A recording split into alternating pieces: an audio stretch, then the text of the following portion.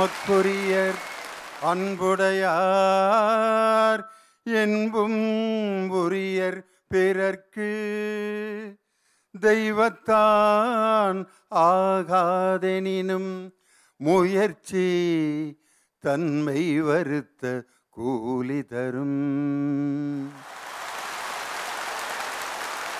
உலகத்திற்கே நல்ல கருத்துக்களையும் பாடங்களையும் மூவாயிரம் ஆண்டுகளுக்கு முன்பே வழங்கி அறிவில் சிறந்த இனம் தமிழ் இனம் என்பதை மெய்ப்பித்து காட்டிய ஐயன் திருவள்ளுவரின் பாடல்களோடு இந்த அருமையான நல்ல விடுமுறை திருநாளில் நாமக்கல்லில் இந்த கலைஞர் தொலைக்காட்சியின் நிகழ்ச்சி நடக்கிறது என்பதற்காக இந்த நிகழ்ச்சியில் பெருமையோடு அமர்ந்திருக்கின்ற திண்டுக்கல் லியோனியைப் போல் நாமக்கல் ராஜேஷ்குமார் என்று எல்லோராலும் அந்த ஊர் பெயரோடு அடைமொழியிட்டு அழைக்கப்படுகின்ற மாநிலங்களவை உறுப்பினர் அருமை தம்பி ராஜேஷ்குமார் பாவை கலைமனைகளின் தலைவர் எங்கள் அன்பிற்கும் மரியாதைக்கும் உரிய அருமை ஐயா நடராஜன்.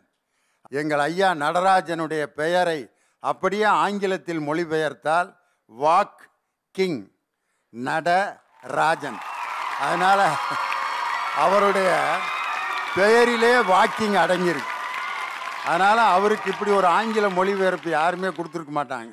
உடல் பயிற்சிகளின் தலைவன் யாருன்னா வாக்கிங்னா. அருமை சகோதரியார் மங்கை. பதிமூணாயிரம் மாணவர்கள் கற்கின்ற இந்த கலை தோட்டத்தை உருவாக்குவதற்கு ஐயாவுக்கு உறுதுணையாக இருக்கக்கூடிய அருமை அம்மா மங்கை நடராஜன் அவர்களுக்கும் அவருடைய குடும்பத்தாருக்கும் இங்கே வருகை இருந்திருக்கக்கூடிய எங்களுடைய குடும்பத்தைச் சேர்ந்த பேராசிரியர் பெருமக்களுக்கும் என் உயிரினும் மேலான என் மாணவ தம்பிகளுக்கும் தங்கைகளுக்கும் என் அருமையான வணக்கத்தை இந்த நேரத்தில் தெரிவித்து இந்த நிகழ்ச்சியை வழங்குபவர்கள் Viking commander premier banians special partner இந்தியாவின் number one dealer Vasanthan co ஜிலு ஜிலுன்னு ஒரு ஏசி மேளா ஆச்சி பாதாம் மில்க்ஸ் மற்றும் கமகம மனம் நலம் தரும் தினம் ஆர்கேஜி நெய் powered by Black Thunder Ooty main road Mettupalayam ஆனந்த அனுபவம் அரோமா நெய்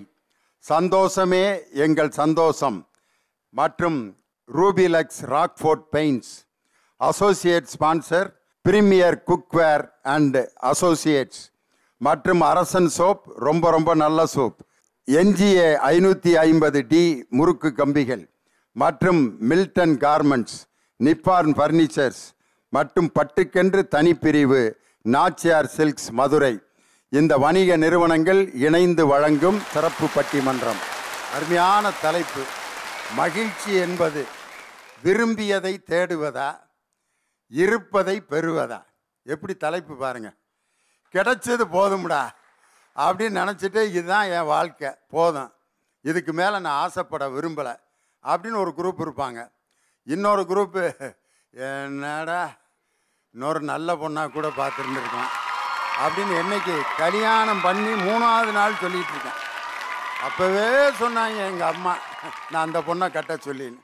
அதனால் விரும்பியதை தேடிக்கிட்டே இருப்பாங்க சில பேர். இதில் எது மகிழ்ச்சி? இன்றைக்கி நீங்கள் எல்லாரும் வந்து இந்த கல்லூரியில் ஆளுக்கு ஒரு கோர்ஸ் எடுத்து படிக்கிறீங்க. எல்லாம் நீங்கள் விரும்பி ஏற்றுக்கொண்ட கோர்ஸாக யோசனை பண்ணி பாருங்கள் நான் ஒன்று படிக்கணும்னு நினச்சேன். கிடைச்சது வேற. அதனால் அதில் நான் வந்து இருக்கேன். இதில் எது மகிழ்ச்சி? விரும்பியதை தேடுபவர்கள் இவர்கள். இருப்பதை பெறுபவர்கள் இவங்க. விரும்பியதை தேடுவது அப்படிங்கிற அணியில் மூணு பேர் பேச வந்திருக்காங்க. வருவதை ஏற்பது அப்படிங்கிறது இவங்க. இருப்பதை பெறுவதே மகிழ்ச்சி அப்படிங்கிற அணியை தொடங்கி வைத்து அருமை சகோதரி திருமதி நாகநந்தினி அவர்களை உங்கள் சார்பாக உரையாற்ற அன்போடு அழைக்கின்றேன்.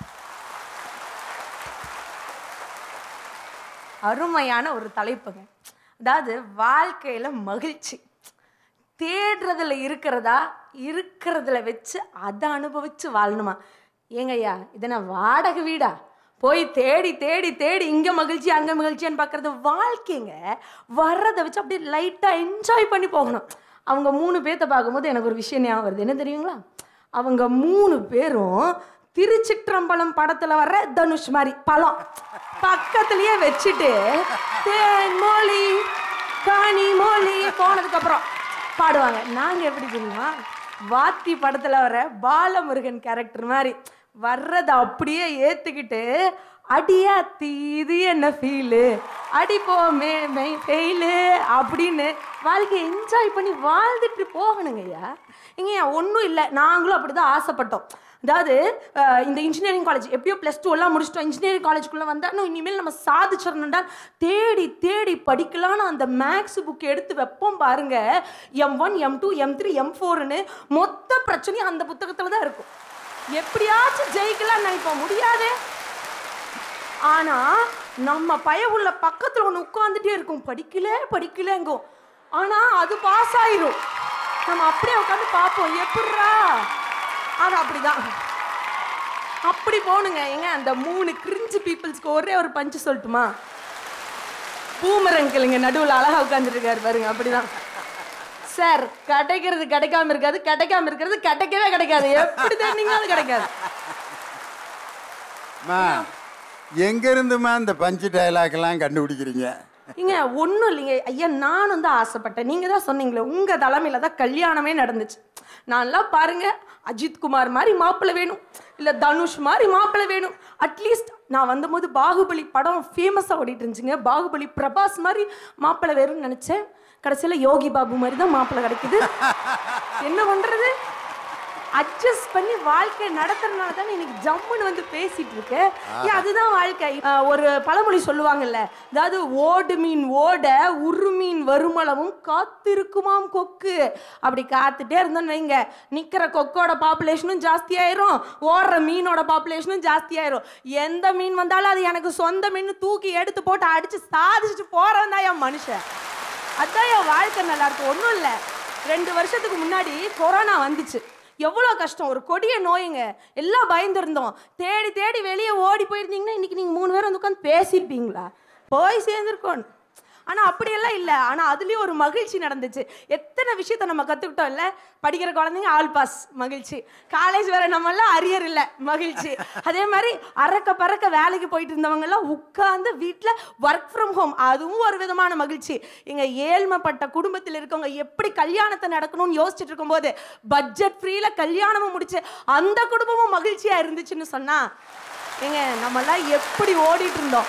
நம்ம அப்பாவுக்கு என்ன கஷ்டம் அம்மாவுக்கு என்ன கஷ்டம் கூட தெரியாது. ஆனால் அந்த நாலு செவத்தில் உட்காரும் போது தான் பழைய காலத்தில் அந்த கூட்டு வாழ்க்கை எப்படி இருக்கும்னு கற்றுக் கொடுத்தது அந்த ரெண்டு வருஷம் தானே. மற்றவனை பற்றி சிந்திச்சோம். மனித நேயம் வளர்ந்துச்சு. மனிதனை கூட தெய்வமாக மாற்றக்கூடிய எண்ணம் அந்த கொரோனா நம்மளுக்கு கொடுத்துச்சுன்னா அது கூடி வருவதை ஏற்றதுக்கு அப்புறம் தான் மகிழ்ச்சியாக அமைஞ்சது? வாழ்க்கை என்றால் ஆயிரம் இருக்கும். வாசல் தோறும் வேதனை இருக்கும். வந்த துன்பம் எதுவென்றாலும் வாடி நின்றால் ஓடுவதில்லை. எதையும் தாங்கும் இதயம் இருந்தால் இறுதி வரைக்கும் அமைதி இருக்கும். உனக்கும் கீழே உள்ளவர் கோடி நினைத்து பார்த்து நிம்மதி நாடு என்று சொல்லி மயக்கமோ கலக்கமோ எது வந்தாலும் வாழ்க்கையில் துணிவோடு நம்மை வருவதை எதிர்கொண்டால் வாழ்க்கை வசந்தமாக மாறும். அதுவே மகிழ்ச்சியாக இருக்கும் என்பதை சொல்லி வாய்ப்பளித்த அனைத்து நல்ல நெஞ்சங்களுக்கும் நன்றி பாராட்டியிடம் அமர்கிறேன். வாழ்க வளமுடன். வருவதை ஏற்றுக்கொண்டு வாழ்வதில் ஒரு பெரிய மகிழ்ச்சின்னு கவியரசு கண்ணதாசனுடைய ஒரு பாட்டோட முடிச்சாங்க. ஒரு பையன் ஒரு மாங்காவை எய்ம் பண்ணி கல்லை கொண்டு அடிக்கிறான். அந்த மாங்காய் அவனுக்கு கிடைக்கல. திருப்பி ஓங்கி அதே மாங்காவை எய்ம் பண்ணி அடிக்கிறான். இன்னொரு மாங்காய் விழுகுது அதுதான். அப்படின்ட்டு திருப்பி ஒரு பதினஞ்சு கல் எடுத்து அந்த மாங்காயவே குறி வைக்கிறான். நாள் முழுதும் அடிக்கிறான். அந்த மாங்காயை தவிர மீதி அஞ்சு மாங்காய் கீழே கிடக்குது. பார்த்தேன். இதை அடிச்சுக்கிட்டே வாழ்நாள் முழுவதும் வாழ்க்கையை வீணாக்கிறதா அஞ்சு மாங்காயில் எது பெஸ்ட்டோ அந்த மாங்காயை சூஸ் பண்ணி ஊறுகாய் போட்டு திங்கிறான்ல. அவன் தான் வாழ்க்கையில் சந்தோஷமாக இருப்பேன். அந்த மாங்காய்க்காவே இப்படியே உட்காந்து கிழவனாகி அந்த மாங்காயும் பழுத்து அழுகி போய் ரெண்டும் ஒன்றா உளுந்து இப்படியே ஒருத்தர் ஒருத்தர் வேடிக்கை பார்க்குறதா? இருப்பதை கொண்டு சிறப்புடன் வாழும் இலக்கணம் படைத்தவன் தொழிலாளின்னு அழகா கவியரசு கண்ணதாசன் பாடியிருப்பார். கோயமுத்தூரிலிருந்து பேசிய நாகநந்தினிக்கு பதில் சொல்ல எங்கள் இயக்குனரும் நடிகருமான வெங்கடேஷ் அவர்கள் உங்கள் பலத்த கரவொலியோடு வர்றாங்க. வாங்கய்யா. ஒன்றும் இல்லைங்க. இப்போ அந்த பக்கம் எதிரணியில் வந்து பேச போகிறது மூணு தலை. எங்கள் அணியில் என்ன தவிர பேச போகிறது ரெண்டு தலை. தீர்ப்பு சொல்ல போகிறது பத்து தலை. இவங்க சொன்னாங்கல்ல கிடைச்சது வச்சு வாழ்ந்தா போதும் கிடைச்சது வச்சு வாழ்ந்தா போதும் ரொம்ப ஆசைப்படக்கூடாது அப்படின்லாம் சொன்னாங்க. அதுக்கேற்ற மாதிரி தலைவர் வேற. ஒருத்தன் கல்லை விட்டுக்கிட்டே இருந்தான் மாங்காய் விழுந்துக்கிட்டே இருந்துச்சு அந்த ஒரு மாங்காய் மட்டும் குறி வச்சுக்கிட்டே இருந்தான் அப்படின்னாரு. நல்லா போயிட்டுருக்கு இந்த கதை அப்படின்னு யோசனை பண்ணிகிட்டே இருந்தா அதை விட்டுட்டு இந்த மாங்காயில் பெஸ்ட் மாங்காய் எடுத்து ஊறுகாய் போட போயிட்டான்ற. நாங்கள் என்ன சொல்கிறோம்னா இருக்கிற மாங்காய் எடுத்து தின்னுக்கிட்டே அடிச்சுட்டே இருறான்றோம். அந்த கீழே இருக்கிற மாங்காய் சாப்பிடு. அந்த மாங்காய் ட்ரை பண்ணு. என்ன? இதுதான் டைரக்டருங்கிறது ஒரு காட்சி எப்படி டெவலப் பண்ணிட்டார் பார்த்தீங்களா? நான் அந்த மாங்காயை விட்டுட்டு இருக்கிறதுல ஊறுகாயை போட்டு சாப்பிட்டு முடிச்சிட்டேன். அவர் கதையை கண்டினியூ பண்ணுறாரு ஊறுகாயை சாப்பிட்டுக்கிட்டே அடிக்கிற மாங்காயை அடிக்கிறத நிப்பாட்டாத. உன்னுடைய எய்மை விட்டுறாத அப்படின்னு. சார் எங்கேயோ போயிட்டீங்க சார். இது போதும். கிடைக்கிறது கிடைக்காம இருக்காது கிடைக்காம இருக்கிறது கிடைக்காது அப்படின்னாங்க. நாங்களும் பஞ்சு சொல்லுவோம். ஆண்டவன் கொடுக்கறத யாராலும் தடுக்க முடியாது. ஆண்டவன் தடுக்கிறத யாராலும் கொடுக்க முடியாது.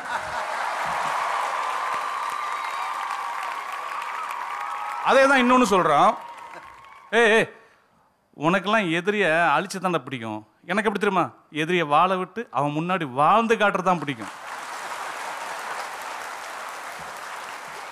இது நான் என்ன சொல்கிறேன் வாழ்க்கைன்னா போராட்டம் இருக்க தான் செய்யும். நீங்கள் போராடாமல் ஜெயிக்கவே முடியாது. போதும் என்ற மனமே புன்சை மருந்து. அதிகம் ஆசைப்படாதே. இருப்பதை கொண்டு வாழ். இதெல்லாமே என்ன சொன்னாங்க? அப்படி இருன்னு சொல்ல. அதுக்கு அடுத்த ஸ்டேஜுக்கு போ. நீ வந்து தேங்கி நின்னா குட்டை ஓடினா தான் நதி. ஸோ ஓடு. ஓடிக்கிட்டே இருந்தால் நாங்கள் சொல்கிறோம் தலைவர் அந்த முதல் ரெண்டு லைன் உள்ளத்தில் நல்ல உள்ளம். உள்ளத்தில் நல்ல உள்ளம் உறங்காதென்பது வல்லவன் வகுத்ததடா. கர்ணா வருவதை எதிர்கொள்ளடா. வருவதை எதிர்கொள்ளடாதான் சொன்னார். வருவதை ஏற்றுக்கொள்ளடான்னு சொல்லியிருக்காங்களா தலைவர்? இல்லை. வருவதை எதிர்கொள்ளணும். நீ எதிர்கொள்ளும் பொழுது தான் அடுத்த ஸ்டேஜுக்கு போவ. அதுதான் அந்த பாட்டில் அது கீதையில் சொல்ல முக்கியமான விஷயம். அதை அவங்க நோட் பண்ண மறந்துட்டாங்க. அந்த தேடினேன் வந்தது அது பாடுங்க. தேடினேன் வந்தது நாடினேன் தந்தது வாசலில் நின்றது வாழவா என்றது. தேடினேன் வந்தது. அது என்னன்னா சிவாஜி கணேசன் ஒரு சிகரெட்டு குடிச்சிட்டு அப்படிம்பாரு கேஆர் விஜயா பார்த்துட்டு அப்போ நடக்கும் அந்த காட்சி அப்படியே மனசில் வந்துருச்சு இந்த பாட்டு. தேடினேன் வந்தது. முதல்ல முடிஞ்சிச்சா தேடுனா கிடச்சிரும். நாடினேன் தந்தது. ஆக நீங்கள் எதை தேடுனீங்களோ அதை நாடினீங்கன்னா தந்துடும் வாசலில் வந்து நிற்கிங்க உங்களுக்கு வாய்ப்பு. வாழவான்னு கூப்பிடும். அவ்வளோதான் அந்த நாலு லைன் அதனால் மகிழ்ச்சி என்பது தேடுவது தான் கிடைக்கும். நான் வந்து சினிமாவில் போராடும் போது எனக்கு இடையில சர்வைவலுக்காக அதாவது பட்னியாக இருக்கக்கூடாது சாப்பிடணும் வீட்டுக்கு பணம் அனுப்பணும் அப்படின்றதுக்காக நான் பார்ட் டைம் ஜாப் பார்த்தேன். அந்த பார்ட் டைம் ஜாப் எங்கே தெரியுமா? ஒரு ஹோட்டலில் ரிசப்ஷனிஸ்ட்டு அப்போ நான் அழகாக இருப்பேன். அதனால ரிசப்ஷனில் போட்டிருந்தாங்க. இப்பயும் அழகாக தான் சார் இருக்கீங்க. தேங்க்யூ தேங்க்யூ தேங்க்யூ அப்போது அந்த ஹோட்டலில் நான் என்ன பண்ணுவேன்னா என் வேலை நேரம் போக சினிமா சான்ஸ் தேடுவேன். அந்த சான்ஸ் கிடைக்காத நேரத்தில் என்ன பண்ணுவேன் ஹோட்டலில் எக்ஸ்ட்ரா வேலை பார்த்துட்டே இருப்பேன். என் டியூட்டி மட்டும் பார்க்க மாட்டேன் மற்ற வேலையெல்லாம் பார்த்துட்டு இருப்பேன். அந்த ஹோட்டல் மாலிக் என்னை பிடிச்சி போய் என்னை கூப்பிட்டு வெங்கடேஷ் நாங்கள் போர்ட் ஆஃப் டேரக்டர்லாம் முடிவு முடிவு பண்ணிட்டோம்ப்பா. உனக்கு வந்து ரெண்டு பர்சன்ட் கொடுத்துருந்தோம் சம்பளம் போக. நீ ஒர்க்கிங் பார்ட்னர் ஆயிரு அப்படின்னாங்க. என்ன என் கூட வேலை பார்க்குற எல்லா சாப்பாடையும் சா ஓகே சொல்லுங்க ஓகே சொல்லுங்க ஓகே சொல்லுங்க அப்படின்னாங்க. ரெண்டு பர்சன்ட் ஹோட்டல் வேலை நல்லா தான் இருக்கும் அப்படின்ட்டு ஆனால் ஒரு கண்டிஷன் அப்படின்னாரு ஓனர் என்ன சார் சினிமா போகக்கூடாது அப்படிதான். நம்ம ஹோட்டல் நீ பார்ட்னர் ஆகிட்டு ஃபுல் ஹோட்டல் பார்க்குறேன் நம்ம நிறைய பிரான்ச்சஸ் இருக்குது எல்லாத்தையும் நீ பார்த்துட்டு உன்னை ஒரு பார்ட்னர்ஷிப் ஆகிக்கிறோன்னாங்க நான் சொன்னேன் என் தேடுதல் அது இல்லை சார் எனக்கு மகிழ்ச்சி இங்கே இருக்காது. நான் எதை நோக்கி போகிறேனோ அதை நோக்கி போனால் தான் எனக்கு வந்து மகிழ்ச்சின்னு. இன்று நான் மகிழ்ச்சியாக இருக்கிறேன். அதே மகிழ்ச்சி உங்களுக்கு வர வேண்டும் என்றால் உங்கள் ம- நீங்கள் தேடிக்கொண்டே இருங்கள்.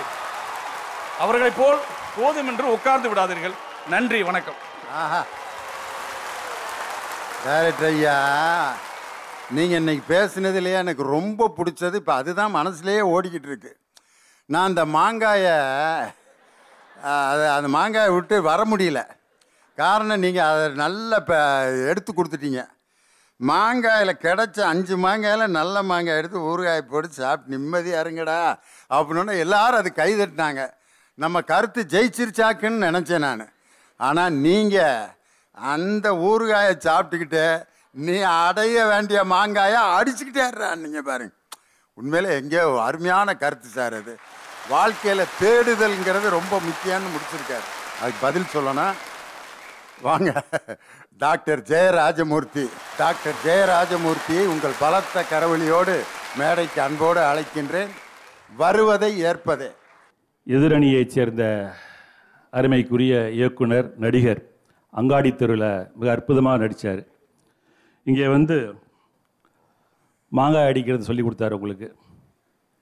நல்லா மாங்காய் அடித்தா பரவாயில்ல. தொடர்ந்து அடிச்சுக்கிட்டே இருந்தால் சில நேரம் என்ன ஆகும்னு கேட்டிங்கன்னா ரோட்டில் போகிறவன் மண்டை உடஞ்சிரும். அப்புறம் கேஸு கோர்ட்டு அது இது போலீஸுன்னு போய் மாட்ட வேண்டியிருக்கும். ரெண்டு மாங்காய் விழுந்தது இல்லை ஐயா சொன்ன மாதிரி. எடுத்துகிட்டு போனாக்கா பிரச்சனை இல்லாமல் வாழலாங்கிறத நாங்கள் சொல்ல வந்திருக்கிறோம். பகவத்கீதையெல்லாம் சொன்னார் அவர். அந்த பகவத்கீதையிலே ஒரு அருமையான வசனம் உண்டு. கடமையை செய் பலனை எதிர்பாராதே. என்ன நடுவர் அவரே தப்பா அதெல்லாம் சொல்லுங்க வெங்கடேஷுக்கு தெரியும். அவர் பாயிண்ட்டுக்கு எது தேவையோ அதை எடுத்துக்கிட்டார் அந்த பாட்டை. கடமையை நீ செஞ்சினா கிடைக்கிறது தானா கிடைக்கும். நீயா போய் முட்டி மோதிட்டு இருக்காத. கிடைக்கலன்னா என்ன ஆகும்? வருத்தம் வரும் இல்லையா? ஊழிர் பெருவெளி யாவுல. மற்றொன்று சூழினும் தான் முந்துரும் அப்படிங்கிறார் திருவள்ளுவர். ஊழையும் உப்பக்கம் காண்பார்னு அவர் தான் சொல்றாரு. முயற்சி பண்ணியா? முயற்சி பண்ணு. வேண்டாம்னு நாங்கள் சொல்லவே இல்லை. ஒரு கால் கிடைக்காமல் போய்விட்டால் ஏற்றுக்கோ அதை ஏற்றுட்டு வர பழகிக்கணும். அந்த மன தைரியம் வேணும். ஒன்றும் இல்லைங்க. கலைஞர் எடுத்துக்க. கலைஞருடைய வாழ்க்கையே நடந்த சில சம்பவங்களையும் சொல்லி தான் ஆகணும். இங்கே தான் ஈரோடு. தந்தை பெரியார் வாழ்ந்த மண் அந்த மண். அங்கே பெரியாருடைய குடியரசு அலுவலகத்தில் கலைஞர் மாதம் ரூபாய் நாற்பத்தைந்து சம்பளத்துக்கு வேலை செய்கிறார் நினச்சி பாருங்க. அன்றைக்கு தனக்கு என்ன வேலை வந்ததோ அதை ஏற்றுக்கொண்டு அந்த பணியை மிக சிறப்பாக செய்த காரணத்தினால் பிற்காலத்திலே மிகச்சிறந்த பத்திரிகை ஆசிரியர் எழுத்தாளர் வசனகர்த்தா கவிஞர் என்கின்ற நிலைக்கு உயர்ந்து தமிழ்நாட்டினுடைய முதல்வராக ஐந்து முறை வந்திருக்கிறார் என்றால் அன்றைக்கு ஆரம்பத்திலே அவர் தனக்கு கிடைத்தவற்றை இன்முகத்தோடு மகிழ்ச்சியோடு செய்த காரணத்தினால்தான். இங்கே பல பேர் தனக்காக வாழறது இல்லைங்க அடுத்தவனுக்காக வாழறான். நீங்கள் நல்லா சிந்திச்சு பார்த்தீங்கன்னா நம்மளுடைய துன்பத்துக்கு என்ன காரணமாக இருக்குன்னு பார்த்தீங்கன்னா பைக் வச்சிருப்பான். இது போதும் நினச்சா போதும். சரி ஒரு கார் வாங்கணும்னா ஒரு செடான் டைப் கார் எட்டு லட்ச ரூபா ஒம்பது லட்ச ரூபா வாங்கலாம். வாங்கி வச்சிருப்பான். பக்கத்து வீட்டுக்காரன் ஒரு இன்னோவா வாங்கியிருப்பான். அவன் இன்னோவா வாங்கிட்டானே. நம்மள்கிட்ட மாறி டிசைர் தானே இருக்குது வீட்டில் இருக்கிற பொண்டாட்டி சும்மா இருக்க மாட்டா. ஏங்க நாம் எப்போங்க இன்னோவா வாங்குறது? அந்த கார் இருக்க போதுமே. அதில் நாலு பேர் போகலாம் ஸோ இன்னோவா அதுக்கு லோனை போட்டு வாங்கு. பேங்க்ல டியூ கட்டு இன்ஸ்டால்மெண்ட் கட்டு. அப்படின்னா ஒரு கார் இருந்தால் போதுமா? அடுத்து ரெண்டு பேர் மூணு மூணு கார் வாங்க. எங்கேயாச்சும் எந்த இடத்துலயாவது மனுஷன் திருப்தி அடைகிறானா? நமக்கு கிடைத்திருக்கிறது போதும் என்கின்ற நிலைக்கு எந்த மனிதனாவது இருக்கிறானா? நினைச்சு பாருங்க. பெத்த தாயாக இருந்தாலும் சரி கட்டிய மனைவியாக இருந்தாலும் சரி உற்றார் உறவினர் எல்லோரும் நிரந்தரமில்லை. நமக்கு கிடைத்திருக்கின்ற செல்வம் கூட நிரந்தரமில்லை. ஓஷோ சொல்லுகிறார் இந்த மனுஷ இனம் தான் வித்தியாசமான இனம். பிறக்கும் பொழுதே அழுது கொண்டு பிறக்கக்கூடிய ஒரே இனம் மனித இனம்தான். வாழும்பொழுதே புலம்பிக் கொண்டே வாழக்கூடிய ஒரே இனம் மனித இனம் தான் நல்லா சிந்திச்சு பார்க்கணும். புலம்பிக்கிட்டே இருப்பான். எனக்கு அது கிடைக்கல. எனக்கு ப்ரொமோஷன் வரல. எனக்கு இன்க்ரிமெண்ட் வரல. நான் எதிர்பார்த்தது கிடைக்கல. என் பையன் அந்த வேலைக்கு போகல. என் மருமகம் இப்படி வந்து வாழ்ச்சிட்டான் வாழ்நாள் பூரா புலம்பிக்கிட்டே இருப்பான். கடைசியில் நிராசையோடு கண்ணை மூடுகிற இறந்து போகின்ற ஒரே இனம் மனித இனம்தான்றார் ஆட்டு வித்தார் ஆரொருவர் ஆடாதாரே கண்ணா ஆசையனும் தொட்டிலே ஆடாதாரே கண்ணா. எதிர்பார்ப்பு இல்லாமல் எவன் வாழ்ந்தாலும் அவனை ஒருவனும் வருத்தப்பட வைக்கவே முடியாது என்கின்ற அந்த உறுதிப்பாட்டை தெரிவித்து வருவதை ஏற்றுக்கொண்டு வாழ்வோம் என்று உங்களிடத்தில் கூறி விடைபெறுகிறேன். நன்றி வணக்கம். ஒரு மனிதனுக்கு பிரச்சனைகள்னு வரும் பொழுது தான் இருக்கின்ற வாழ்க்கையே தனக்கு போதும் நினைக்காம தேடிக்கிட்டே இருக்கிறவனுக்கு எதிர்பார்ப்புகள் கூடிக்கிட்டே இருக்கும் எது ஏமாற்றம் ஆகும்போது வாழ்க்கை அங்கனே நின்று போயிடும் அதனால் எதிர்பார்ப்புகளை ஒரு அளவோடு நிறுத்தி கொள்ளுங்கள். இருப்பதை வைத்துக்கொண்டு சிறப்புடன் வாழுங்கள்னு சொல்லி டாக்டர் ராஜமூர்த்தி ரொம்ப அழகாக பேசினார். அதுக்கு பதில் பேசணும். எங்களுடைய அருமை சகோதரியார் மலர்விழி. பாட்டுக்கு பாட்டும் பேச்சுக்கு பேச்சும் பதில் சொல்ல உங்கள் கரவொலியோடு வருகிறார்கள் மலர்விழி. வாங்க. மகிழ்ச்சி என்பது விரும்பியதை தேடுவதா வருவதை ஏற்பதா அப்படின்னு அருமையான கேள்வி. ஏறு ஏறு ஏறு நெஞ்சில் வலிமை கொண்டு ஏறு. உன்னை பெண்ணண்டு கேலி செய்த கூட்டம் ஒரு நாள் உன்னை வணங்கிடும் நிமிர்ந்து நில்லு. இப்போ பெண்களும் ஓடிக்கிட்டே இருக்கணும் ஆண்களும் ஓடிக்கிட்டே இருக்கும் ஓடி தேடிக்கிட்டே இருக்கணும். தேடல் உள்ள உயிர்களுக்கே தினமும் பசி. ஆஹா. தேடல் என்பது உள்ளவரை வாழ்வில் ருசி இருக்கும்னு சொல்லியிருக்கான். ஒரே இடத்துல தேங்கி நின்னா டேய் தம்பி வாழ்க்கை எப்படி போகுது? வாழ்க்கையா? வாழையில இல்ல ஊத்துன ரசம் மாதிரி போகுது. இப்படி சொன்னா எப்படி இருக்கும்? முயலும் வெல்லும் ஆமையும் வெல்லும் முயலாமை என்றும் வெல்லாதுன்னு சொல்லியிருக்காங்க என்னுடைய ஆண் பிள்ளைகளை ஏன் பிடிக்கும் நடுவர்களே அப்பாவுக்கு உழைக்க முடியாத ஒரு வீட்டுலன்னு தெரிஞ்ச குழந்தை என்ன பண்ணுவான் பள்ளிக்கூடத்துக்கு போறதுக்கு முன்னால காலையில வீடு வீடா பேப்பர் போடுவான் நடுவர்களே பள்ளிக்கூடத்துக்கு போயிட்டு வந்த பிறகு ஏதாவது ஹோட்டல்ல போய் வேலை செய்தாவது அந்த குடும்பத்தை ஓடி ஓடி தேடி தேடி காப்பாற்றுவானே அவன்தான் வருங்காலத்தில் நல்ல இளைஞனாக மாறுவான். எங்க குறிக்கோள்னா என்னது? என்னதுன்னு கேக்குறேன். குறிக்கோள்னா விரும்பியதை தேடுவதுதான் குறிக்கோள் நடுவர் அவர்களே. பக்கத்துல டிவி இருக்கும். நயன்தாராக்க பாட்டு ஓடிக்கிட்டு இருக்கும். செல்லு கையில இருக்கும். ஆனாலும் என் பையன் பாடத்திட்டத்திலும் கவனம் செலுத்துகிறானே அதுதான் குறிக்கோள் நடுவர் அவர்கள். இங்க வாழ்க்கையில விரும்பியதை தாங்க நம்ம தேடி பிடிக்கணும். ஒரு காதலி கூட நமக்கு விரும்பின காதலி கிடைக்கலன்னா மனசு வாடி போகுதில்ல. வாடுதா இல்லையா நடுவர் அவர்களே? ஒருத்தன் சொன்னா என்றாவது ஒரு நாள் அழைப்பாய் என்ற நம்பிக்கையில் இன்னும் மாற்றவில்லை என்னையும் என்னையும் அப்படின்னா. இன்னைக்கே ஒரு நாள் நீ கூப்பிடுவ. அதனால என்னையும் நான் மாத்தல எனக்கு ஃபோன் நம்பரையும் நான் இன்னும் மாத்தல கூப்பிடு அப்படிங்கிறான். இன்னொருத்தி எழுதுனா உன் பெயரை பச்சை குத்த போனேன் வலிக்கும் என்று வந்து விட்டேன். எனக்கல்ல உன் பெயருக்கு. எவ்வளவு அழகான காதல். கணவனை மனைவியை எப்படி இருக்குன்னு சொல்லுவாங்க. பூவும் நாரும் போல கண்ணும் இமையும் போல ரயில் தண்டவாளங்கள் போல சேர்ந்தே இருக்கணும்னு வாழ்த்துவாங்கல்ல. அதெல்லாம் கூட வேண்டாம். எது மாதிரி தெரியுமா இருக்கும்? பாலும் தண்ணீரும் போல இருக்கணும்னு சொல்லுவாங்க. ஏன் தெரியுமா? பாலையும் தண்ணீரையும் கலந்து நீங்க தான் ஒரு கூட்டத்தில் சொன்னீங்க. அப்படிதான் நடுவர்களே பாலையும் தண்ணீரையும் கலந்து அடுப்பில் வச்சோன்னு வைங்களேன் அது கொதிச்சு தண்ணி ஆவியா வெளியேறும் போது இந்த பாலுக்கு கோவமா வரும் பொங்கி மேலே வரும். ஐயோ போறாரேன்னு பொங்கி வரும்போது அப்படியே தண்ணியை தெளிச்சிருங்க அப்பாடா நம்மால் வந்தாச்சு. அவ்வளவு சந்தோஷமா இருக்கும். பாலும் தண்ணீரும் போல சேர்ந்து இருக்கணுமா? அது போல ஒரு கணவன் விருப்பப்பட்ட கணவன் கிடைக்கணும். விருப்பப்பட்ட மனைவி கிடைக்காத வாழ்க்கை என்ன தெரியுமா ஆகும்? உண்மையிலே ஒரு ஒரு நாள் சமயம் நல்லா இல்லைன்னா ஒரு நாள் தான் வேஸ்ட்டு விளைச்சல் சரியில்லைன்னா ஒரு வருஷம் வேஸ்ட்டு நல்ல வாழ்க்கை துணை அமையலைன்னா வாழ்நாள் முழுக்க வேஸ்ட்டு ஏங்க உண்மையிலே ஆண்கள் எல்லாம் கொஞ்சம் நினைச்சு பாருங்க. கல்யாணத்துக்கு முன்னால கல்யாணத்துக்கு பின்னால. திருமணத்துக்கு முன் தீமு தீப்பின்னு பிரிச்சுக்கோங்களேன். ஆறு வகையான தோசை ஆண்கள் சாப்பிட்றாங்க நடுவர்களே கணக்கெடுத்திருக்காங்க திருமணத்திற்கு முன் எண்ணெய் தோசை நெய் தோசை முட்டை தோசை. திருமணத்திற்கு பின் தீஞ்ச தோசை காஞ்ச தோசை. நேத்து சுட்ட தோசை. இப்படி மூணு தோசை சாப்பிட்றாங்க. எங்கள் பயிலெல்லாம் கல்யாணம் முடிச்ச பிறகு இந்த கருப்பு தோசையை தான் தின்னாகணும் போல இருக்கேன் அப்படின்னு பயப்படுறாங்க வருவதை ஏத்துக்கிடுவோம்னு சொன்னா என்ன பாட்டு பாடுவாங்க? காட்டுமானை வேட்டையாட தயங்கவில்லையே இந்த வீட்டு மானின் உள்ளம் ஏனோ விளங்கவில்லையே கூட்டு வாழ்க்கை குடும்ப வாழ்க்கை புரியவில்லையே நான் கொண்டு வந்த பெண் மனதில் பெண்மை இல்லையே நான் கவிஞனும் இல்லை. எவ்வளோ உணர்ந்து எழுதியிருக்காரு பாருங்க கண்ணதாசன். எப்படிப்பட்ட பாட்டு? அப்போ நம்முடைய விரும்பியதை தொடர்ந்து நம்ம அதை ஏற்றுக்கிட்டோம் எங்களை வேலையானாலும் சரி கல்வியானாலும் சரிங்க. கல்வி நம்ம விரும்பின கல்வி கிடைச்சாதான் அதில் பிடித்தமாக இருக்க முடியும். இப்போ சகித்து கொண்டு வாழ்தல் ரசித்து வாழ்தல்னு ரெண்டு இருக்கு. அவங்க சகிச்சுக்கிட்டு வாழ்றாங்க. நாங்க ரசித்து கொண்டு வாழ்கிறோம். அதுதான் நாங்க வாழ்க்கை. பர்வதை ஏத்துக்கிட்டே இருந்தோம்னா வாழ்க்கையில முன்னேற முடியாது. கடன் இல்லாத வாழ்க்கையை நோயில்லாத வாழ்க்கையை வாழ வேண்டும் என்று சொன்னால் நாம் விரும்பியதை தேடி ஓடிக்கொண்டே இருப்போம் என்று கூறி அருமையான வாய்ப்புக்கு நன்றி கூறி அமைகிறேன். நன்றி வணக்கம். ஆஹா. மலர்விழி அவங்களுடைய பேச்சு எப்பயும் வித்தியாசமாக இருக்கு. பாட்டோட கலந்து அடித்தாங்க காரணம் சிலர்கிட்ட நம்ம கேள்வி கேட்டோம்னா அவங்க என்ன வேலை பார்க்குறாங்களோ அதுக்கு தகுந்த மாதிரி தான் பதில் சொல்லுவாங்க.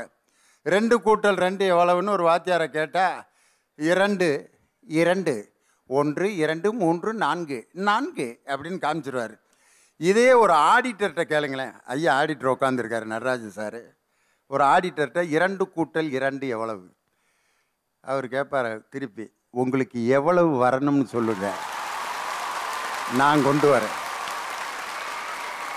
ரெண்டு கூட்டல் ரெண்டு நாற்பது வரணுமா? நம்மள்கிட்ட இருக்கு மேட்ரு ரெண்டு கூட்டல் ரெண்டு ஒன்றுன்னு வரணுமா? நான் போட்டு தர்றேன் கணக்கு. அவர் தான் ஆடிட்ரு அதாவது பிகாம் படிக்கும்போது ஜமால் முகமது கல்லூரியில் இதே மாதிரி ஒரு அரங்கத்தில் உட்காந்து ஒரு நிகழ்ச்சியை பார்த்த ஒரு மாணவன் நான் இதே மாதிரி ஒரு அரங்கத்தை கட்டி ஒரு கல்லூரியை நிறுவுவேன் என்று கல்லூரியில் படிக்கும்போது அவர் விரும்பியதை தேடியது தான் அதை குறிக்கோளாக வைத்து செயல்பட்ட கண் முன்னாலேயே நமக்கு உதாரணம் இருக்கும்போது நெல்லை ஜெயந்தா என்ன பேச போகிறாரோ வாங்க ஜெயந்தா. உங்களுக்குன்னு ஒரு பாயிண்ட் இல்லாமையா இருக்கேன். அதுவும் நடராஜன் ஐயாகிட்டே விஷயம் இருக்கு. வாங்க எடுத்து பேசுங்க. நடுவர் அவர்களே பேசுகிறார்கள். எதிரணியிலே வந்து பேசுகிறார்கள். எனக்கு என்ன வருத்தம் என்றால் மலர்வெளியை விடுங்கள். அவர் தலையை பார்த்தேன். தலைப்பூவும் இல்லை. அவர் பேச்சில் தலைப்பும் இல்லை. அவர்களை விட்டு விடலாம். கேள்வி வாழ்க்கையில் நீங்கள் முயற்சிக்க வேண்டுமா வேண்டாமா என்பது அல்ல. மகிழ்ச்சி என்பது எது? அதுதான் முக்கியம். மகிழ்ச்சி இருபத்தி ஒன்பது நாட்கள் ஓடி முப்பதாவது நாள் ஜெயிக்கலாம். இருபத்தி ஒன்பது நாட்கள் நான் ஓடிக்கொண்டே இருப்பேன். முப்பதாவது நாள் ஜெயிப்பேன் என்று நீங்கள் சொல்கிறீர்கள். அந்த இருபத்தி ஒன்பது நாட்களும் உங்களிடம் மகிழ்ச்சி கிடையாது. முப்பதாவது நாள் கிடைக்க போகிற மகிழ்ச்சிக்காக நீங்கள் இருபத்தி ஒன்பது நாட்கள் கஷ்டப்படுகிறீர்கள். நாங்கள் அப்படி சொல்லவில்லை. முப்பது நாட்களும் மகிழ்ச்சியாக இருக்க வேண்டும் என்பதுதான் எங்கள் கட்சி. அதான் அடிப்படை. நடுவர் அவர்களே எங்கள் வள்ளுவன் சொல்வதை நீங்கள் கேளுங்கள். வகுத்தான் வகுத்த வகையல்லால் கோடி தொகுத்தாருக்கும் துய்த்தல் அரிது. ஊழ் என்கிற அதிகாரத்தில் இல்லையா? காவிய கவிஞர் வாலி புதுக்கவிதையில் எழுதியிருப்பார். உனக்கு கோடி கோடியாய் வந்திடலாம் வருவாய். உனக்கு கோடி கோடியாய் வந்திடலாம் வருவாய். ஆனால் ஊழ் உத்தரவிடாமல் உன்னால் உண்ண முடியாது ஒரு வாய். உன் வருமானத்தை நோய் கொள்ளுமா அல்லது வாய் கொள்ளுமா என்பது விதிவசம் அல்ல நிதிவசம். இது வாரியனுடைய அந்த கவிதை. ஆக என்னதான் இருந்தாலும் நமக்கென்று ஒன்று விதிக்கப்பட்டிருக்கிறது வேறு. அதிர்ஷ்டம் விற்பது கடவுள் கடை. முயற்சி ஒன்றே அதற்கும் இல்லை அதை மறுக்க முடியாது. ஆனால் காலமெல்லாம் முயற்சித்து கொண்டே இருந்தால் என்றைக்கு நீங்கள் வாழப் போகிறீர்கள்? அதுதான் எங்கள் கேள்வி. டாக்டர் சொன்னார் என்னுடைய வாழ்க்கையை இன்று நான் வாழ முடியவில்லை. அதான் உண்மை. நான் ஓடிக்கொண்டே இருக்கிறேன் ஆனால் நான் மகிழ்ச்சியாக இருக்க முடியாது. என் குழந்தைகள் இருப்பார்கள் வீட்டில் மகிழ்ச்சியாக இருப்பார்கள் ஆனால் நான் மகிழ்ச்சியாக இருக்க முடியாது. ஒவ்வொருவரும் மகிழ்ச்சியாக இருக்க வேண்டும் என்றால் அவரவர் வாழ்க்கையை அவரவர் வாழ்ந்தாக வேண்டும். அதான் நாங்கள் சொல்கிற வார்த்தை. அதாவது வாழ்க்கைக்கும் வகுப்பறைக்கும் ஒரே ஒரு வித்தியாசம். வகுப்பறை என்பது பாடங்களை நடத்திவிட்டு பரீட்சையை வைக்கும். வாழ்க்கை என்பது பரீட்சையை வைத்து பாடத்தை சொல்லித்தரும். இதுதான் வாழ்க்கைக்கும் வகுப்பறைக்கும் இருக்கிற வித்தியாசம். அங்குதான் சிக்கல் வருகிறது நடுவரவர்களே. சுவாமி விவேகானந்தர் சொன்னார் முதலில் கீழ்ப்படிவதற்கு நீ கற்றுக்கொள். பிறகு கட்டளையிடும் பதவி உனக்கு தானாக வந்து சேரும். அதைத்தான் நாங்கள் சொல்கிறோம். வருவதை நீ முதலில் ஏற்றுக்கொள் ஏற்றுக்கொண்டிரு. அப்படிப்பட்டவர்கள் தான் ஜெயித்திருக்கிறார்கள் மறந்துவிடக்கூடாது. பராசக்தி படத்தில் பாடல் எழுதுவதற்கு வாய்ப்பு கேட்கிறான் கண்ணதாசன். கொடுக்கப்படவில்லை. தொடர்ந்து பாடல் மட்டுமே எழுதுவேன் என்று அவர் இருக்கவில்லை. தனக்கு கிடைத்ததை பயன்படுத்தி கொண்டார். வசனம் எழுதுகிற வாய்ப்பு வந்த பொழுது கண்ணதாசன் வசனங்கள் எழுதினார். நாங்கள் சொல்வது நீ நான் பாடல் மட்டுமே எழுதுவேன். வசனம் எழுத மாட்டேன் என்று சொல்லியிருந்தால் கண்ணதாசன் சொல்லியிருந்தால் நமக்கு கண்ணதாசன் கிடைத்திருக்க மாட்டார். ஆக தனக்கு வந்தது வசனம் எழுதுகிற வாய்ப்பு கண்ணதாசனுக்கு வந்த பொழுது ஓராண்டு ஈராண்டு அல்ல பத்து ஆண்டுகள். தமிழ் சினிமாவில் பத்து ஆண்டுகள் எழுதினார். நாடோடி மன்னன் படத்தை பாருங்கள். கண்ணதாசன் வசனம் பாடல் கிடையாது. தன் ஏற்றுக்கொண்டார். அதைத்தான் அதுதான் அவருடைய வெற்றிக்கு காரணம். முதலில் வருவதை ஏற்றுக்கொள்ள வேண்டும். வெங்கடேஷ் இன்று கோடம்பாக்கத்தில் ஜெயித்திருக்கிறார். இருபத்தைந்து படம் செய்திருக்கிறார். நான் கேட்கிறேன் சகோதரர் வெங்கடேஷோடு தமிழ் சினிமாவிற்கு வந்தவர்கள் எல்லாம் ஜெயித்திருக்கிறார்களா? அதான் என்னுடைய கேள்வி. நீங்கள் ஜெயித்திருக்கிறீர்கள். ஆயிரம் பேர் ஓடி சினிமாவில் ஒருவர் ஜெயிக்கிறார். தொள்ளாயிரத்து தொண்ணூற்றி ஒன்பது பேர் காணாமலே போய்விடுகிறார்கள். நீங்கள் இந்த ஒருவரைத்தான் பார்க்கிறீர்கள். அந்த தொள்ளாயிரத்து தொண்ணூற்றி ஒன்பது பேர் நிலைமை என்ன? கடைசி வரை டைரக்டராகத்தான் ஆவேன் என்று சொல்லி வாழ்க்கையை தொலைத்து விட்டு வாடி நிற்கிறார்கள். அப்படி வேண்டாம். கிடைப்பதை பயன்படுத்தி கொண்டு அங்கிருந்து முயலுங்கள் என்று சொல்கிறோம்.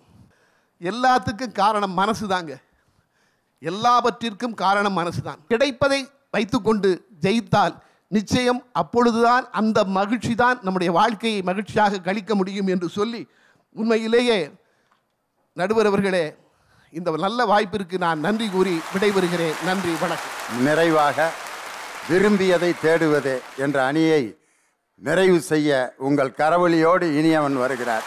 வாங்க இனியவன். விரும்பியதை தேடு அப்படின்னு நாங்க பேசுவோம் அந்த மூணு சாமியார் கூட்டமும் அவங்களுக்கு கிடைச்சது சந்தோஷப்படணும். அது நாகநந்தினி என்ன சொல்றாங்கன்னா நான் ஆசைப்பட்டது அஜித் குமார கிடைச்சது யோகி பாபு. அதுக்கு நீ ஷாலினி அலமா இருந்திருக்கணும்.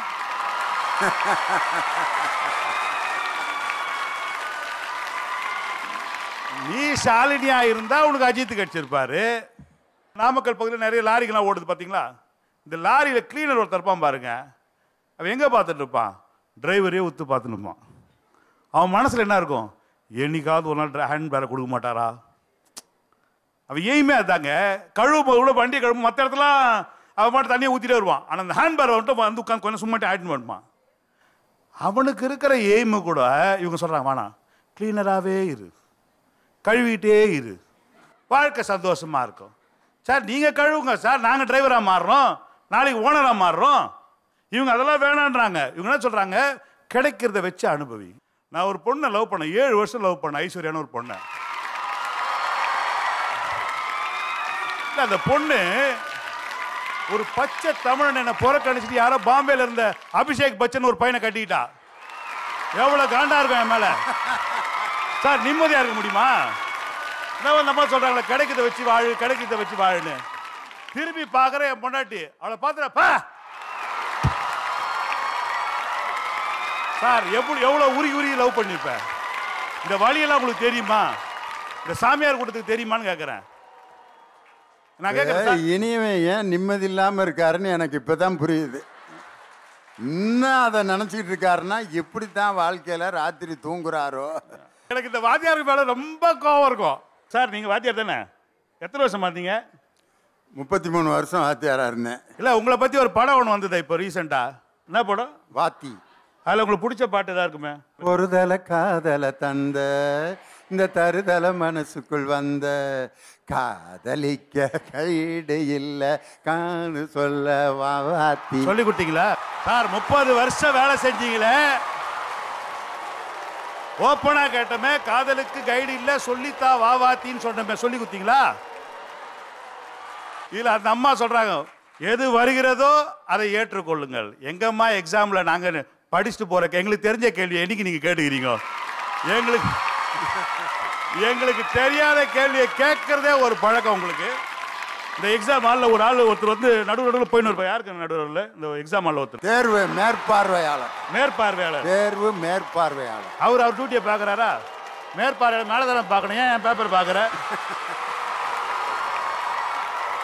சார் நானே கஷ்டப்பட்டு முப்பது மார்க் தான் நமக்கு தெரியும். அஞ்சு மார்க் அந்த நல்லா படிக்கிற பொண்ணை உஷார் பண்ணி அதுக்கிட்ட சொல்லியிருப்போம் ஒன் மார்க்கை மட்டும் கொஞ்சம் சொல்லுன்னு சொல்லி அந்த பொண்ணும் கரெக்டாக ஏக்கு இங்கே கை வச்சா ஒன்று இது பி இது சி இது டி இதை சொல்லி அந்த அஞ்சு மார்க் நான் உஷார் பண்ணி வச்சு அந்த என்னையே விட்டு பார்த்துனாங்க அப்புறம் மாணவர்கள் தேர்ச்சி விகிதம் குறைவு.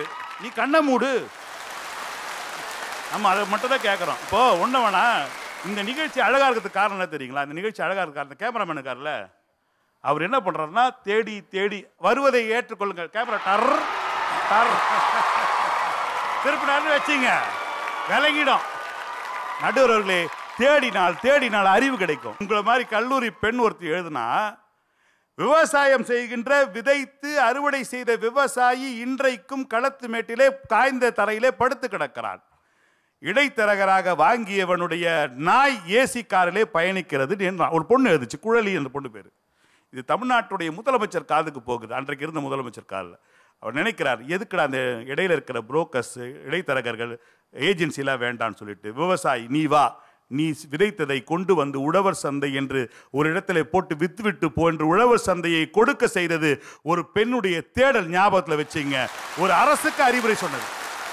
வருவதை ஏற்றுக்கொள்ளக்கூடிய நாங்கள் தயாராக இல்லை. நாங்கள் தேடி தேடி போகின்றோம். ஏனென்று சொன்னால் எங்களுக்கு வானம் வசப்பட வேண்டும். உலகம் எங்கள் காலடியில் இருக்கிறது. நாங்கள் சுற்ற தயார் ஓட தயார். வெற்றி பெற எங்களுடைய தோள்கள் துடிக்கிறது. எங்கள் பாதங்கள் இமயங்களை கடக்க துடிக்கிறது. நாங்கள் தயாராக இருக்கின்றோம். இந்த மூன்று சாமியார்களை மடத்திலே சேர்க்க வேண்டும் என்று மண்டியிட்டு கேட்டுக்கொண்டு விடைபெறுகிறேன். நன்றி வணக்கம். நடுவருக்கு இப்படி ஒரு நிலைமை வந்திருக்கவே கூடாது. காரணம் என்னன்னா இப்போ என்ன தலைப்பில் பேசிகிட்டு இருக்கோங்கிறதே மறந்து போச்சு எனக்கு. இருப்பதை கொண்டு சந்தோஷமாக இரு. ஒரு சான்ஸ் உனக்கு கிடைக்குதா வாய்ப்பு? அந்த வாய்ப்பை நீ முழுசாக பயன்படுத்து. அந்த வாய்ப்பு கிடைக்கிறப்பே இன்னொரு வாய்ப்பு வேணும்னு தேடாத. பதினாறு வயது நிலை பாரதி ராஜா. கமலஹாசனுக்கு கொடுத்த கேரக்டர் என்ன கேரக்டர் சப்பானி. மூக்கில் அப்படியே வளையம். த தலை பரட்ட தலை. வெறுமேலோட அழுக்கு சட்டையை போட்டுக்கிட்டு வா வாயில் வெத்தலை கருக்கா போட்ட பல்லு. வசனம் பார்த்தீங்கன்னா ஏ- உன்னை இனிமேல் எல்லாரும் கோபாலகிருஷ்ணன்னு கூப்பிடு எவன் கூப்பிடுறேன்? ஒரு வயலும் கூப்பிட மாட்டேங்கிறேன். சப்பானி சப்பானின்னு தான் கூப்பிட்டுருக்கேன் ரஜினிகாந்துக்கு அதில் என்னையா கேரக்டரு பெரிய ஸ்டைல் பண்ணி கோட்டு டை ஷூவோட அப்படி படையப்பாலையும் பாட்சாலையும் இறங்கி வந்த மாதிரி பாஷா பாஷா அந்த கேரக்டராக கொடுத்தாரு. ரோட்டில் உட்காந்து மரத்தடியில் பீடி குடிச்சிக்கிட்டு கவுண்டமணி குரூப்பெல்லாம் புறணி பேசிகிட்டு இருப்பாங்க. அதில் யார்? ஸ்ரீதேவியோட அம்மா காந்திமதி இருக்கான். இதுக தம்ம போட்டு டேய் சபானே மயில் உங்கள் அம்மாவுக்கு தவணி போட்டால் கூட நல்லா தான்டா இருக்கு. இது இப்படி இருக்கு? அப்படின்னு அது கவுண்டமணி நல்லாவே இல்லை அப்படிம்பாரு. இந்த இது எப்படி இருக்குது இது எப்படி இருக்குன்ட்டு அந்த பீடியை குடித்த கேரக்டரை பெர்ஃபெக்டாக கிடைச்ச கேரக்டரை பண்ணதுனால தான் இன்னைக்கு அவர் சூப்பர் ஸ்டாராக இருக்கார். அதே மாதிரி பதினாறு வயதுல அந்த சப்பானி கேரக்டரை பண்ணதுனால தான் இன்னைக்கு விக்ரம் படத்தில் பத்தலை பத்தலை பத்தலை பத்தலை குட்டிக்கும் பத்தலை விட்டலை ஹர்ராடே அட விட்ட விடாதே. எழுபது வயசில் ஆடுறாரியா? அந்த நேரத்தில் கிடைச்ச அந்த வாய்ப்பை முழுசாக பயன்படுத்து. அதுக்குன்னு ஆசைப்படாமல் ஒரு மனுஷன் வாழ முடியுமா ஐயா? பதினாறு வயது நிலையில் சப்பானியா நடிச்சுட்டு அப்படியே இருந்திருந்தா இன்னைக்கு உலக நாயகனாக அவர் மாறி இருப்பாரா முடியாது. அடுத்த நிலைக்கு ஒரு மனிதன் தாவி போகணும். ஒரு குழந்தை பிறந்ததுலேருந்து அந்த இடத்துலையே படுத்து கிடந்திருந்தா அந்த குழந்தை வளருமா? படுத்தோன்னா உடனே கத்துவான். அடுத்து பிறண்டு படுப்பேன் அப்புறம் அப்படியே இன்னொரு இடத்துக்கு போகணுன்னு அப்படியே தள்ளுவேன். செவுத்தை பிடிச்சிக்கிட்டே நடப்பேன். அப்புறம் நட வண்டியை வச்சு அப்படியே நடக்க விடுவாங்க. ஒவ்வொரு அசைவையும் பார்த்து பார்த்து பார்த்து பார்த்து அந்த தாய் பூரிச்சு போகிறாளே ஒழிய தன் குழந்தை படுத்த இடத்துலையே கடந்திருந்தா எந்த தாயும் சந்தோஷப்பட மாட்டா. அடுத்த நிலைக்கு தேடி தேடி தேடி தன் குழந்தை வளர்ந்து ஒரு மேடையில் இந்த கல்லூரியில் முதல் மாணவனாக தேர்ச்சி பெறுகிறான்ட்டு கோல்டு மெடல் வாங்கும்போது முன்னால் நின்று அழுது கொண்டே கைதட்டுகிறாள் பார்த்தீங்களா ஒரு தாய். அந்த தாய்க்கு என்ன காரணம்னா அந்த மகனுடைய தேடல் தான் அன்னைக்கு காரணம்? தேடாமல் இருந்திருந்தா வேற ஏதாவது நமக்கு இன்னைக்கு கிடைச்சிருக்குமா? இன்னைக்கு தந்தை பெரியார் ஈரோட்டில் பாருங்க அவருக்கு மேலே ஒரு பெரிய பணக்காரர் யாரும் கிடையாது. மிகப்பெரிய செல்வந்தர் ஈவே ராமசாமி நாயக்கர். அவருக்கும் திருவிதாங்கூர் மகாராஜாவும் ரொம்ப ஃப்ரெண்டு திருவிதாங்கூர் மகாராஜா ஈரோட்டுக்கு வர்றப்ப தந்தை பெரியாருடைய கெஸ்ட் ஹவுஸில் தான் தங்கிட்டு போவார். ஆனால் என்ன நடந்துச்சு? ஆயிரத்தி தொள்ளாயிரத்தி இருபத்தி மூணாம் ஆண்டு. ஆயிரத்தி தொள்ளாயிரத்தி இருபத்தி மூணாம் ஆண்டு நடந்த சம்பவம் அந்த திருவிதாங்கூர் கோயிலுக்கு பக்கத்தில் சாதாரண ஜனங்க நடந்து கூட போக முடியாத ஒரு சூழ்நிலை. மூன்று விதமான தீண்டாமை. அன்டச்சபிலிட்டி தொட்டால் தீட்டு. அன்சீயபிலிட்டி பார்த்தால் தீட்டு. அன்அப்ரோச்சபிலிட்டி நெருங்கினால் தீட்டு. அப்படின்ட்டு கோயில் பகுதியில் கூட நடக்க முடியாத ஒரு சூழ்நிலைக்கு கேரள மக்கள் போராட்டம் நடத்தினாங்க. அந்த போராட்டம் தோல்வி அடைந்தது. யார் போராடினால் வெற்றி கிடைக்கும் என்று தந்தை பெரியாரை கேரளாவுக்கு அழைத்து கொண்டு போய் அன்று போராடி அந்த ஆலயத்துக்கு பக்கத்தில் சாதாரண மக்கள் கூட நடந்து செல்லும் உரிமையை இந்தியாவிலேயே முதல் சமூக நீதி போராட்டத்தில் வெற்றி பெற்றவர் வெண்தாடி வேந்தன் தமிழகத்தினுடைய தென்னகத்தின் சாக்ரட்டிஸ் தந்தை பெரியார். அன்னைக்கு வந்து அந்த மக்கள் வந்து சாதாரண இடத்துல இருந்தால் போதும். அவங்க கோயில் பக்கம் நடக்க வேண்டிய அவசியமில்லை. இருப்பதை வைத்துக்கொண்டு வாழட்டும் அப்படின்னு நினச்சிருந்தா. இந்த சமூக நீதி போராட்டத்தின் நூற்றாண்டு விழா அண்மையில் நடந்து நம் தமிழக முதல்வர் கேரளாவில் போய் தந்தை பெரியாருக்கு மண்டபம் கட்டியிருக்கிறார் என்று சொன்னால் இருக்கின்ற வாழ்க்கையை விட அடுத்த நிலைக்கு வாழ்க்கைக்கு யார் இட்டு செல்கிறார்களோ அவர்கள்தான் வாழ்க்கையிலே வெற்றி பெறுவார்கள். ஒரு பெண் ஓட்டு போடுவதற்கு உரிமை இல்லாமல் இருந்தது ஒரு காலத்தில். அந்த ஓட்டுரிமையை பெற்றுக் கொடுத்தது நீதி கட்சியினுடைய ஆட்சி. பெண்கள் படிப்பதற்கு உரிமை இல்லாமல் இருந்தது. அந்த படிப்பை பெற்றுக் கொடுத்தது நீதி கட்சியின் ஆட்சி. பெண்களுக்கு சொத்துரிமை கிடைக்காமல் இருந்தது. அந்த சொத்துரிமையை சட்டமாக்கியது முத்தமிழறிஞர் டாக்டர் கலைஞருடைய ஆட்சி. இன்னைக்கு பார்த்தீங்கன்னா இருபத்தி ரெண்டு மேயர்களில் பதினோரு மேயர்கள் பெண்கள் வந்து இன்னைக்கு தமிழகம் முழுவதும் மாநகராட்சி மேயர்களாக பெண்கள் இருக்காங்கன்னா இது அடுத்த தேடலை நோக்கி நோக்கி ஏற்படுத்திய பயணம்தான்.